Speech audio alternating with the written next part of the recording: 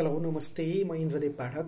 अब exam our आइसकेको हुनाले धेरै विद्यार्थी भाइ बहिनीहरूले यति ठुलो ठुलो एक किलोमिटर लामो म्यासेजहरू पठाउन थालेका छन्। यति ठुलो के समस्या हेर्दा म त म पनि यति समस्यामा थिइनँ जस्तो लाग्छ त्यो इन्ट्रान्सको बेला होइन? त्यही भएर मैले अझ एउटा भिडियो बनाउन बाध्य भएँ सबैको लागि। सबैले सोधेको एउटै प्रश्न कि के पढ्ने कसरी रिभाइज गर्ने? थाहा नै भएन मलाई कसरी रिभाइज गर्ने।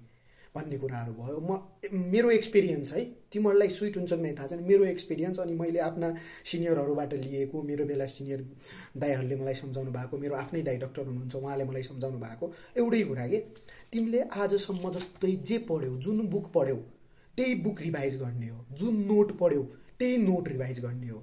जुन कुरालाई विश्वास मानेर एक वर्षभरि पढ्यौ अब लास्ट आवरमा त्यो कुरा रिभाइज गर्ने हो भयो।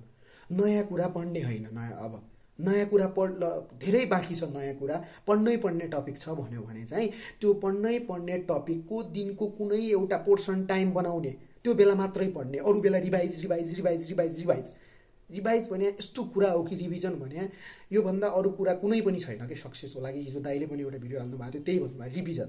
रिभिजन कसरी गर्ने त? जस्तै मैले अब तिमीहरूलाई के सिकाउँ? कुन बुक?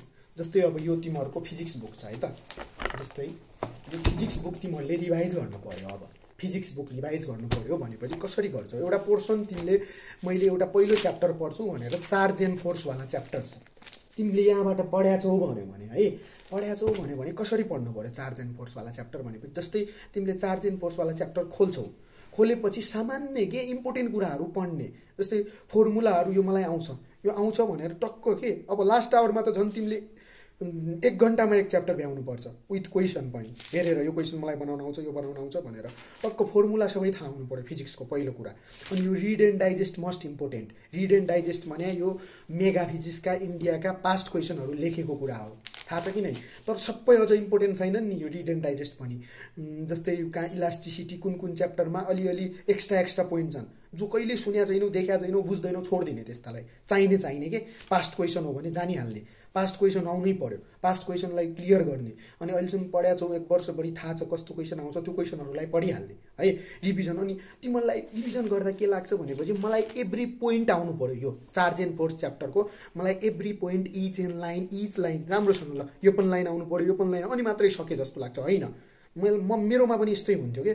मैले मैले सकिनँ च्याप्टर त्यत्तिकै रिभाइ रिभाइज गरेँ जस्तो भयो तर सब भुले होइन कि? तिम्रो मनमा इमेज बनिरहेछ यो च्याप्टरको तिमीलाई आइरहेछ कि? त्यो तिमीलाई भ्रम लाग्या भ्रम मात्रै हो कि यो च्याप्टर राम्रोसँग रिभिजन भएन भनेर। त्यही भएर सर रिभिजन गर्ने। सर र के? आउ आफूलाई आओस् नआओस्। बरु कुनै यस्तो कुरा छ जो एकदम इम्पोर्टेन्ट छ भने त्यसलाई अलिक टाइम दिने जस्तै यहाँ कुनै रिड एन्ड डाइजेस्टको कुनै पोइन्ट छ भन्यो भने त्यसलाई अलिक बढी पोइन्ट फोकस गर्ने जो एकदम इम्पोर्टेन्ट छ सेयर आउने हो तिमी भुलिरहेछौ बेला बेला भन्यो भने त्यसलाई। तर सबै कुराहरूलाई धेरै आउँदैन छोडिदिने कि भनेर जुलोजीको जस्तै पोडिफेरा पढ्दा अनेकौँ पोइन्ट छन् त्यहाँ नचाहिने पोइन्टहरू पनि त्यति पर्दैन। जस्तै इम्पोर्टेन्ट पोइन्टहरू choanocyte choanocyte are the specific character of porifera यस्ता कुराहरूलाई बढी रिभाइज गर्ने। अनि अर्को कुराहरू पास्ट क्वेसनहरू हुन्छ होइन। पास्ट क्वेसनहरू चाहिँ हेर्ने पुरै यो बुककै पछाडिको पास्ट क्वेसनहरू आउनु पऱ्यो तिमीलाई सबै लगभग। पास्ट क्वेसन त एउटा पनि रङ हुनु भएन। अनि पहिले तिमीले गरिसक्या होला एमसिक्यू गरिसक्या भए गोलो लगाएको होला रङ भएको। त्यो रङ भएको पोइन्ट सर र हेर्ने अगाडि बढ्ने। यो एक च्याप्टर सकिन्छ। अनि यो सबै लङ लङ एमसिक्यूहरू क्वेसनहरू गर्नु पर्दैन। इम्पोर्टेन्ट कुराहरू अनि फिक्स क्वेसनहरू टक टक टक बनाउनै सक्यो।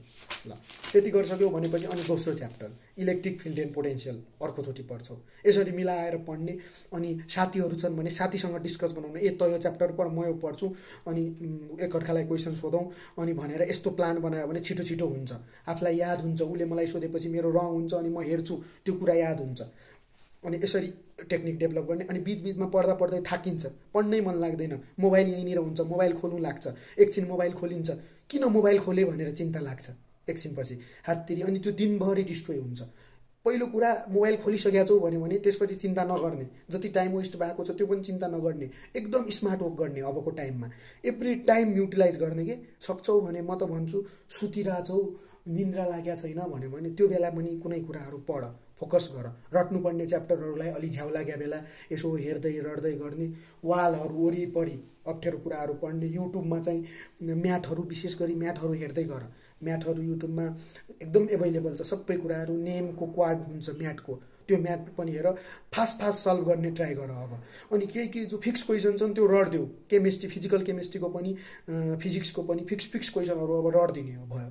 अनि अर्को कुरा जिन्दगीमा एउटा कुरा चाहिँ के नडराउ भनेपछि नाम निक्लिन्छ कि नै भनेर नडराउ कि? एमबिबिएस नै सबैभन्दा ठुलो कुरा होइन कि? मैले अहिलेसम्म एनालाइज गरे अनुसार के छ भनेपछि दाईहरूलाई देखेँ। सबैभन्दा दुःख सबैभन्दा खुसी नभएको मान्छे नै त्यो एमबिबिएस हो। केवल त्योसँग यति लाग्छ कि ए प्रतिष्ठा छ उसँग सम्मान छ भन्ने अरू मान्छेले सोध्छ ऊ मान्छेले पनि म खतरामा सोध्छ भयो।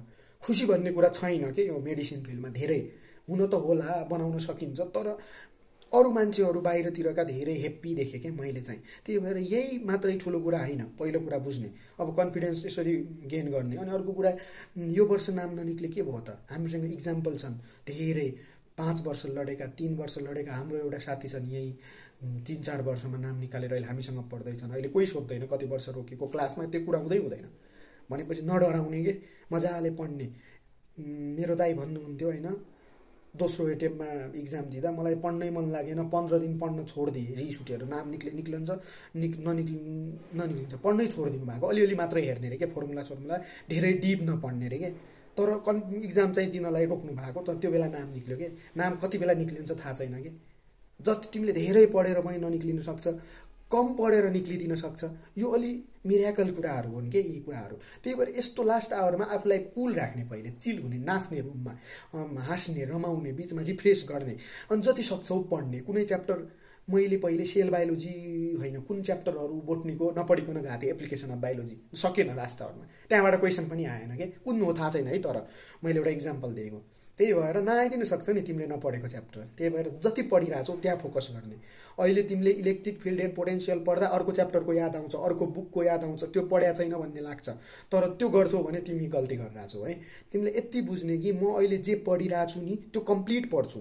ऊबाट छुट्ला केही छैन। यो सोच्ने त्यति पढ्ने धेरै टाइम वेस्ट नगर्ने है? चाहिने चाहिने कुराहरू बेला बेला रिभाइज गर्ने बेला बेला बेला बेला बेला बेला रिभाइज गर्ने अनि इक्जाम आवरको लागि तिन आवरको लागि फोकस गर्ने भयो।